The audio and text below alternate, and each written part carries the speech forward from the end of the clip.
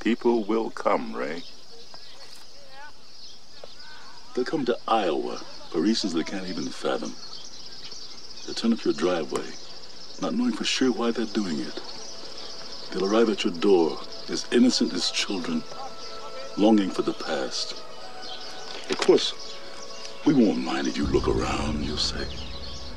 It's only $20 per person. They'll pass over the money without even thinking about it. For it is money they have and peace they like. And they'll walk out to the bleachers. Sit in shirt sleeves on a perfect afternoon. They'll find they have reserved seats somewhere along one of the baselines.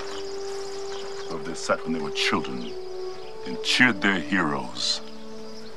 And they'll watch the game. And it'll be as if they'd dipped themselves in magic waters. The memories will be so thick they'll have to brush them away from their faces. The one constant through all the years, Ray, has been baseball. America has rolled by like an army of steamrollers. It's been erased like a blackboard, rebuilt and erased again. But baseball has marked the time.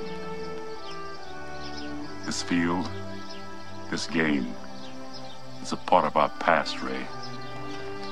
It reminds us of all that once was good, and it could be again. Oh, people will come, Ray. People will most definitely come.